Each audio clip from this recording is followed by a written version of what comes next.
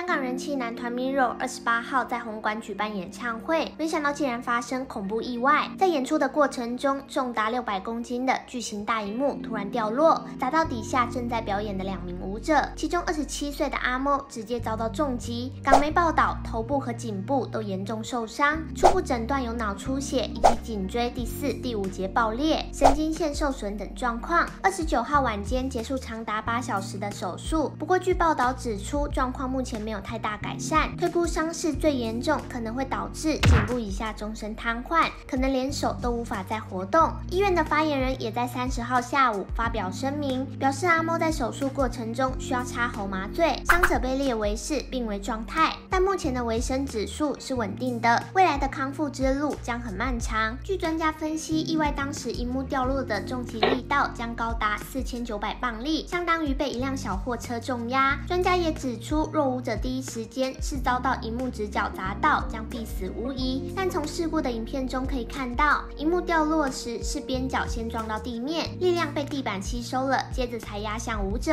因此阿猫大概承受了一千八百磅力的撞击力。而另一位受到轻伤的舞者阿峰，则是被已经掉下来的荧幕压到，骨盆和脊椎都有受伤，但状况稳定。三十号也在家人的陪同下出院，同时他也在社群平台转发网友为阿猫祷告的贴文，相当。挂心伙伴目前的状况。